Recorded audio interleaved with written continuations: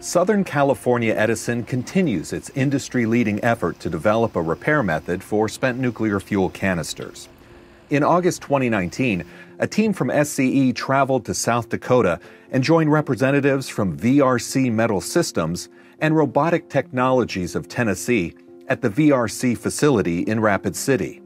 The team successfully performed final acceptance testing for a process using a metallic overlay as a repair method for a potential defect on a spent fuel canister. During the testing, the RTT robot delivered the metallic overlay tooling that applied a nickel coating to the 5 8 inch thick canister wall replica. The replica was mounted in a full scale mock up of a canister in its storage position. The robot uses magnetic wheels to travel along the wall of the storage module, which is constructed of carbon steel.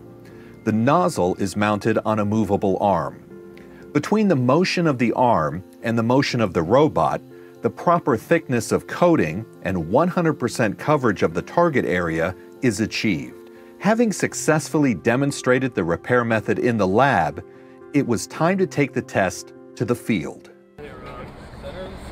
The equipment and materials were brought to the San Onofre nuclear plant for another demonstration that would better replicate a real world experience.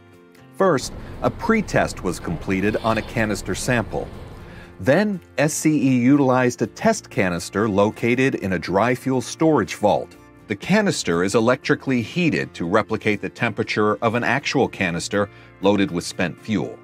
Technicians deployed the robotic crawler containing the repair equipment down the vertical sides of the test canister's storage vault.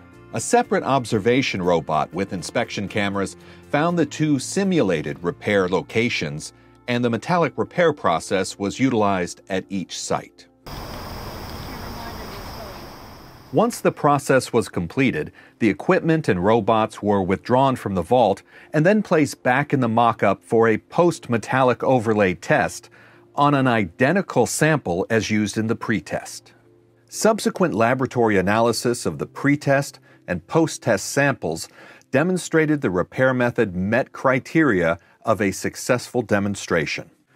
The demonstration performed at SONGS brought together state of the art inspection and repair technologies to implement a repair of a potentially degraded canister installed in its storage vault. SCE further demonstrated the process is deployable, reliable, and capable of implementation on any canister installed at SONGS.